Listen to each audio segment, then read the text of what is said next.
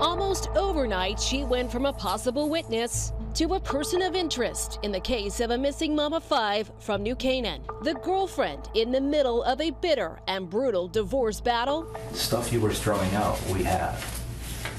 And it's all Jennifer. It belongs to Jennifer. Do you understand? Turned high profile murder investigation. What happened to Jennifer McLaughlin? We're taking you inside the trial of Michelle Troconis. And thanks for joining us once again for Inside the Trial of Michelle Troconis. I'm Shannon Miller. We're preparing for a major milestone in this case. The prosecution expected to rest after calling its final witness, the mother of Jennifer Dulos.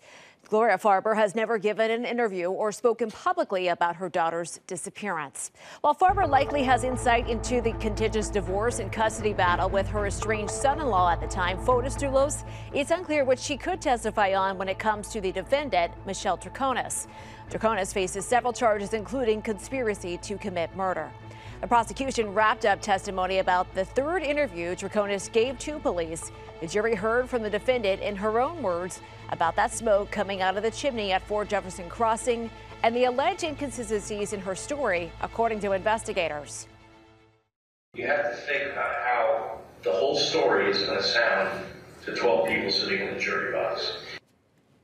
And we got an update from the judge about the timing of this trial and how much longer it could go. NBC Connecticut's Kevin Geist joining us now live once again outside Stamford Superior Court. And Kevin, it appears that issue of contempt is going to push back the closing arguments.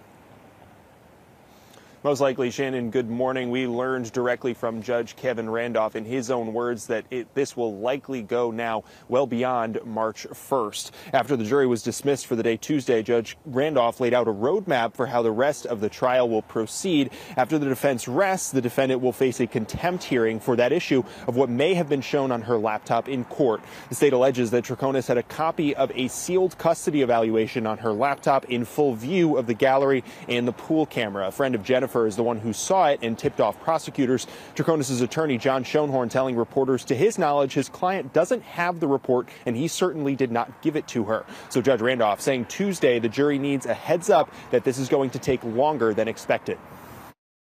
So there are many, as the cliche goes, moving parts here court wants to try to make sure that the jury is not surprised and informed that, well, we're going to be here a lot longer than March 1st.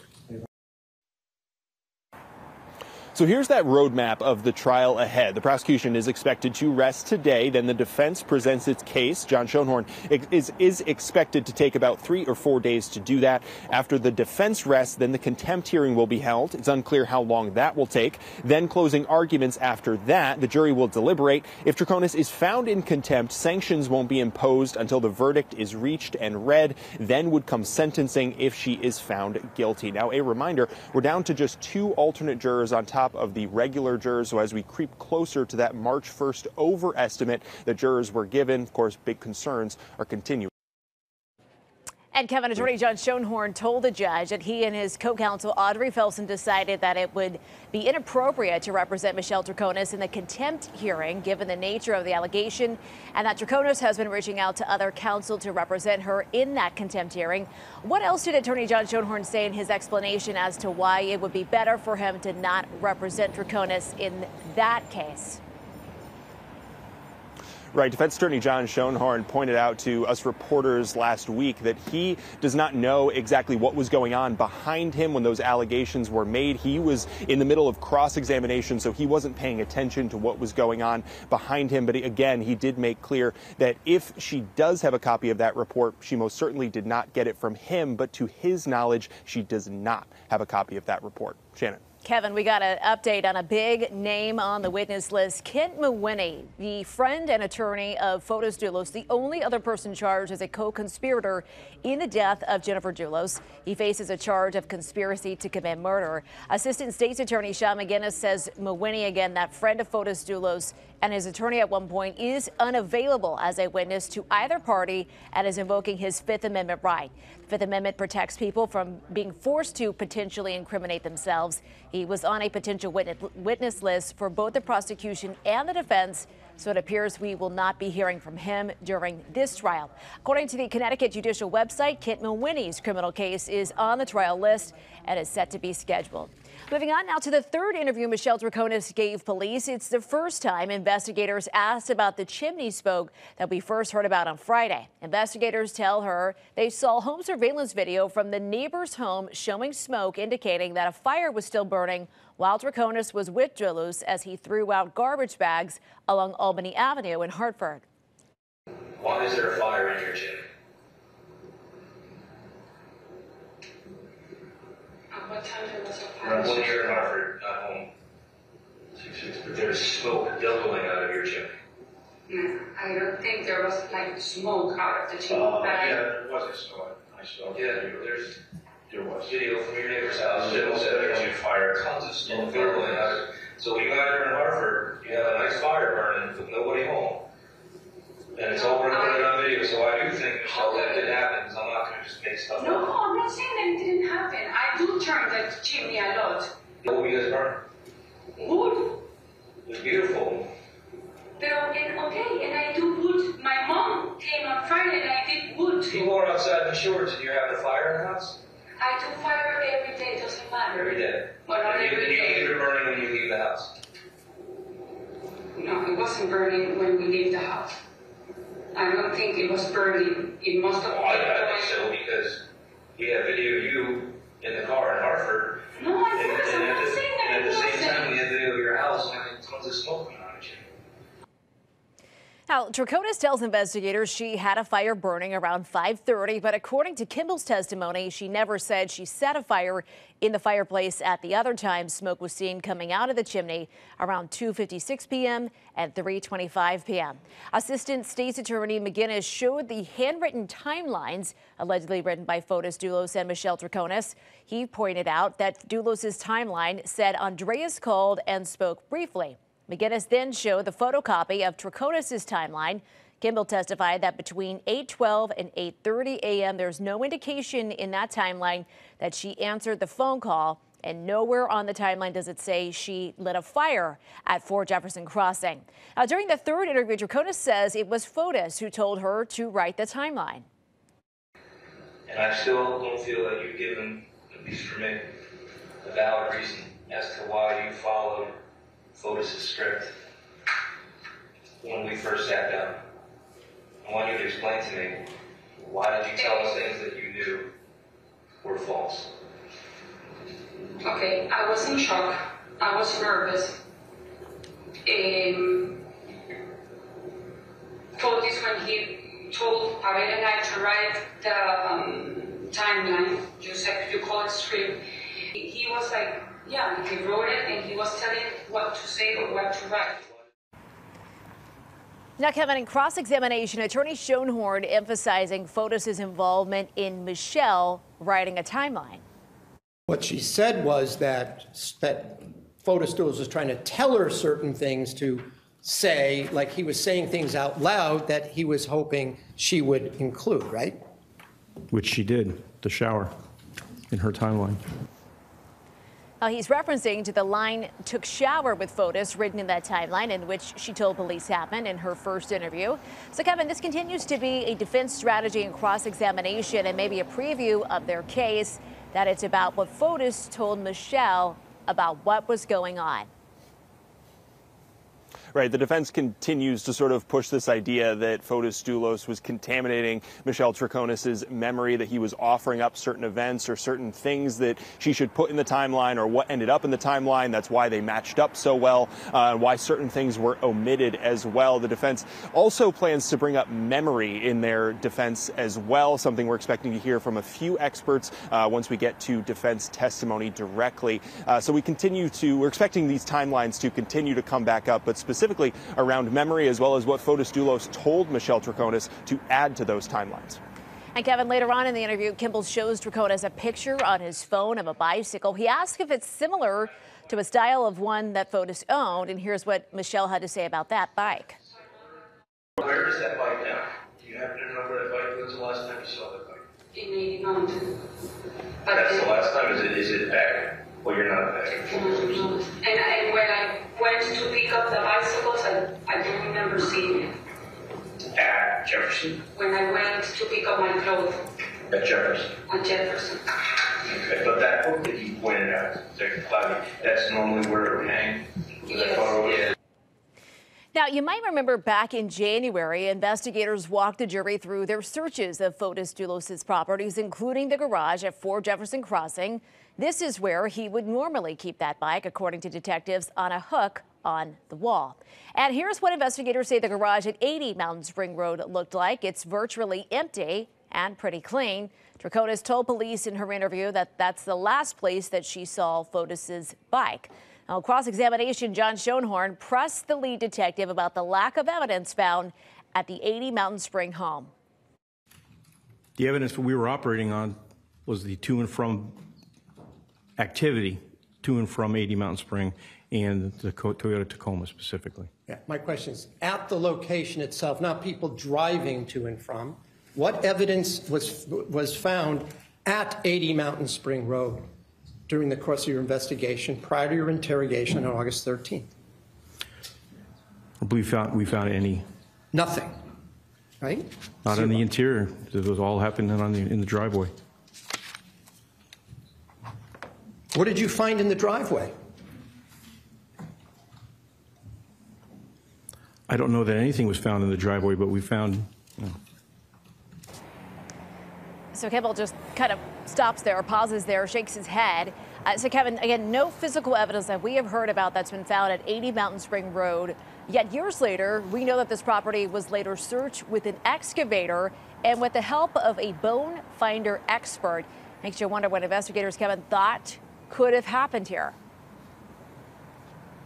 Right. The defense continues to point that nothing happened there, and that's sort of their narrative that they're going with. But prosecutors sort of allow the jury to sort of come to their own conclusion. They sort of have to draw their own reasonable inferences, which we know the judge is totally allowing as fair game uh, in sort of this case. Prosecutors alleging that it's not necessarily what exactly happened there, but just the movements that are so important around 80 Mountain Spring. That's why they spent hours uh, combing through all sorts of surveillance video from across the street. Uh, so there's still sort of a large mystery about what happened at 80 Mountain Spring, and uh, but we won't really necessarily ever know because there was no surveillance video attached to that property specifically. Uh, this is going to come down to what the jury decides uh, which sort of narrative they want to go with.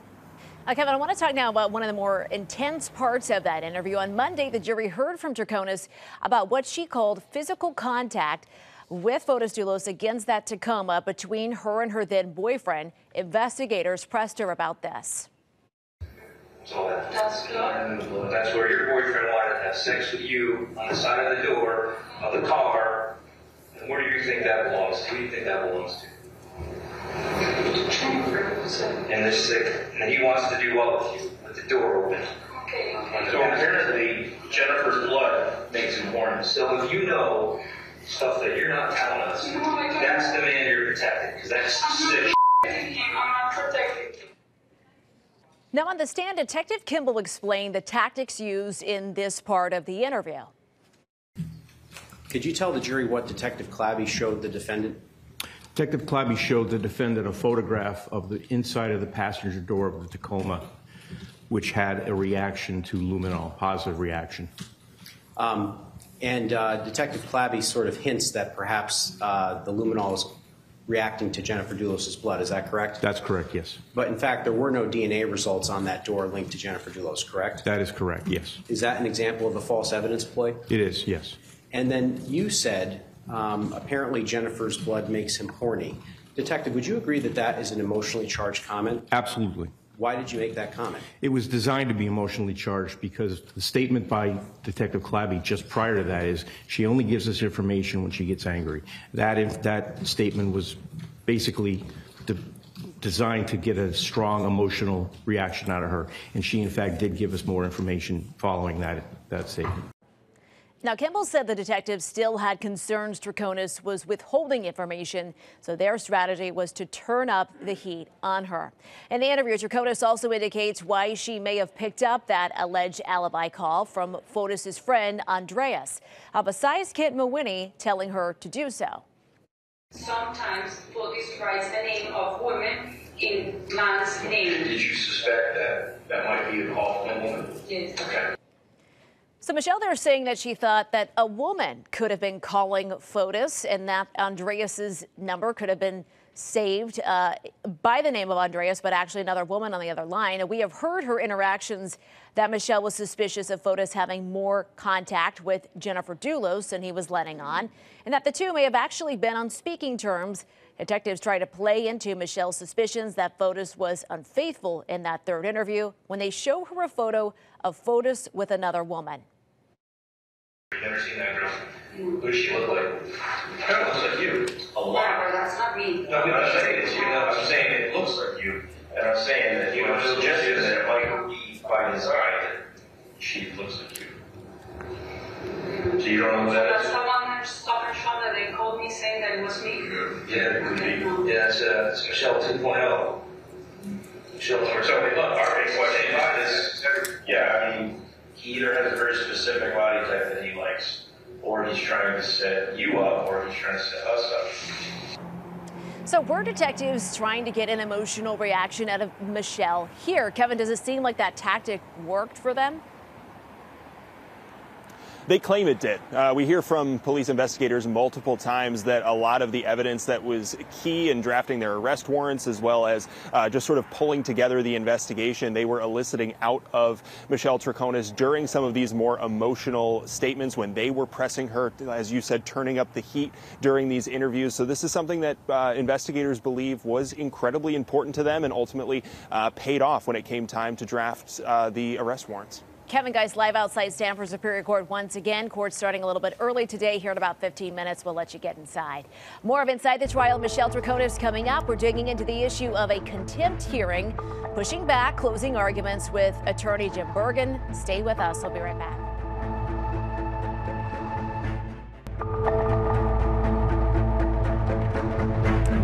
Welcome back to Inside the Trial of Michelle Troconis. We are joined once again by one of our legal analysts, Jim Bergen. Uh, Jim, let's talk about this roadmap that Judge Randolph has set out and laid out for the rest of the trial. The contempt hearing now going to happen after the defense rests, before those closing arguments. Uh, the jury being warned it could go longer than that March 1st deadline.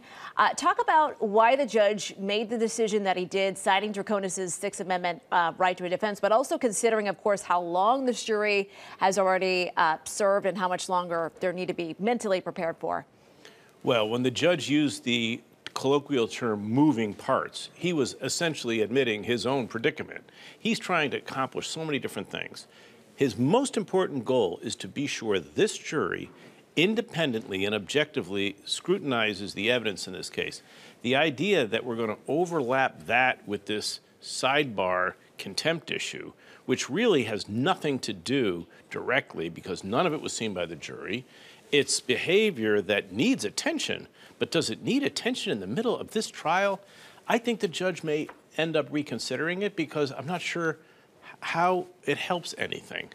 And Judge Randolph even calling this contempt hearing a rare case. Uh, even Attorney John Schoenhorn saying that uh, he recommends that he and his co-counsel Audrey Felsen not represent Michelle in this uh, uh, this part of the, the trial, this part of the case, this contempt hearing, uh, in saying that Troconis is now looking for other counsel to represent her in that part of it. Can you explain, again, this is rare for a, a contempt hearing to happen to begin with, but explain that reasoning behind Attorney Schoenhorn saying that he and Attorney Felsen cannot represent her for the contempt part of this? Well, he offered some reasoning, and there's even better reasoning than what he offered, which is when somebody is being charged with doing something that's a violation of the law, a contempt hearing, they have a right to counsel, but the lawyer's role in that is always in question. So anytime a lawyer's own conduct is in question, that's a conflict because you can't have that influence the finding of facts.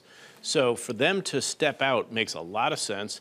For them to be doing this now when this other lawyer, whoever it's going to be, needs time to examine it, needs to talk to her in some detail about privileged conversations she had with them. For example, one question is Did they school her enough on, hey, you can't do anything like that?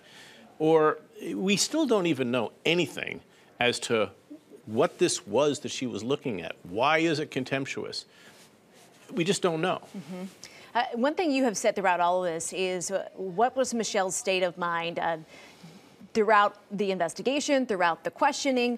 Uh, we got a, a, look at what Attorney John Schoenhorn is hoping to accomplish in his part of the trial here, a preview from him on how he plans to start his defense. He plans to call two expert witnesses on memory and interrogation, including one who specializes in how people uh, who have English, you know, not as their first language react to and process questions. It seems like uh, he's really going to try to tackle those inconsistencies that investigators allege Michelle Troconis made in her interviews with them? It's, a, it's actually very appropriate. Um, I was thinking at first it's another sideshow, but on the other hand, I know these experts, not personally, but I've been reading about them for decades. They really do know what they're talking about. And given now that we have seen more of this last interview, we get to see her behavior. And for the most part, I think it comes across somewhat natural for someone who's just being attacked, attacked, attacked. The police that are interrogating her, they're not looking for the truth. That's not their job. Their job is to find any evidence of probable cause. So when they're attacking her and saying these very obnoxious things in order to get a reaction, you can't do that in a courtroom. You know why? Because we know that's not how you produce truth. What you do is you produce uh, something. Okay, so she, whatever she produces, they're just saying, oh, do, can we put that in our list of probable cause? So it's real. The whole thing is a bit of a mess right now, and I think Schoenhorn and Felsen, the two lawyers, are doing well to just stand away from that. And then let's focus, help this jury, again, focus on her mind. That's the whole trial. One of the biggest uh, takeaways from yesterday was that uh, the alleged co-defendant in the case, co-conspirator in the case, uh, Kent Mawhinney, um, mm. is saying, uh, made indication to the court that he is unavailable, that he will be invoking his Fifth Amendment right. He still has a trial pending uh, for the criminal charges that he faces.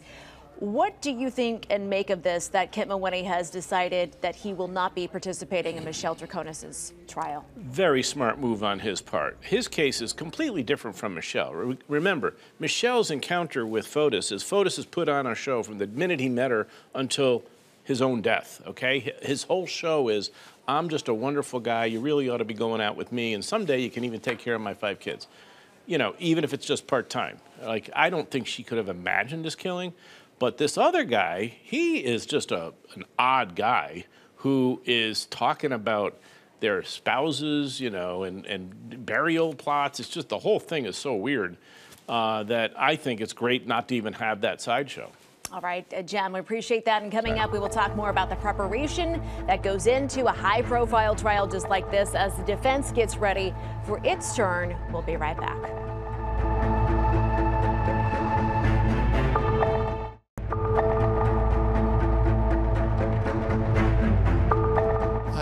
I work at a certain level of intensity, and I stay at that intensity till uh, the case is in the jury's hands, and I can't do anything else about it. Attorney John Schoenhorn answering questions uh, Tuesday about how he's feeling as he gets ready to present his client's defense. He told reporters he is running on adrenaline at this point. Welcome back to Inside the Trial of Michelle Troconis. We are joined once again by attorney Jim Bergen.